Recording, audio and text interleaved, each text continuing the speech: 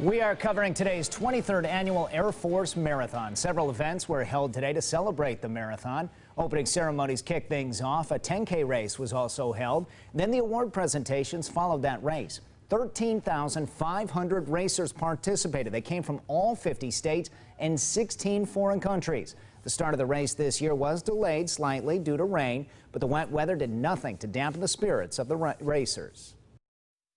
Typically, I do prepare for it, but today was a, my official kickoff day.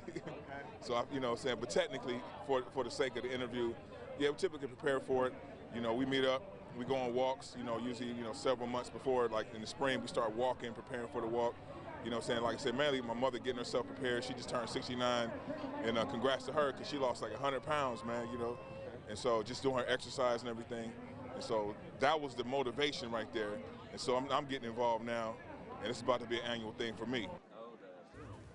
Anna Laniak of Bellbrook was the top female finisher. Her time was 2 hours, 52 minutes, and 17 seconds. And Jura Selaniaks of Bath Township, Ohio, was the overall marathon winner this year with a time of 2 hours, 22 minutes, and 37 seconds.